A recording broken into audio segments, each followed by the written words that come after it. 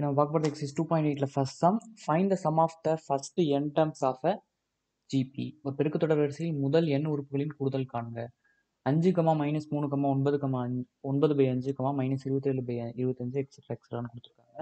First என் டேர்முடைய summation என்னன்னு சொல்லி கேட்குறாங்க அதாவது எஸ்என் ஃபார்மில் கேட்குறாங்க ஜிபி பொறுத்த வரைக்கும் எஸ்என் கண்டுபிடிக்க ஃபார்முலா என்னன்னா A into one minus R power N by one minus R அதாவது ஆரோட வேல்யூ ஒன்றை விட கம்மியாக இருந்தால் அந்த ஃபார்முலா ஆரோட வேல்யூ ஒன்றோட அதிகமாக இருந்துச்சுன்னா R minus one formula use பண்ணணும்.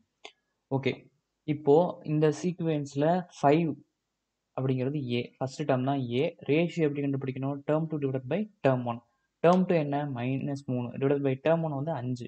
மைனஸ் மூணு பை அஞ்சுங்கிறது ஒன்றை விட கம்மியான ஒரு நம்பர் ஸோ எஸ்என் ஃபார்மில் என்ன எடுத்துக்கிறோம்னா A into one minus R power N by one minus R எடுத்துக்கிறோம்.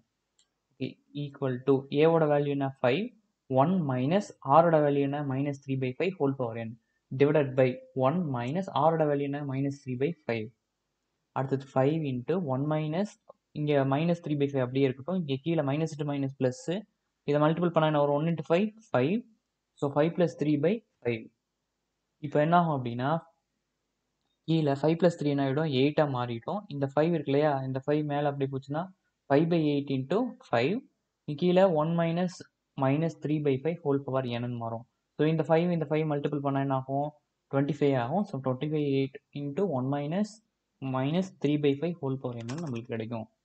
இதுதான் எண் உறுப்புகளோட கூடுதல்.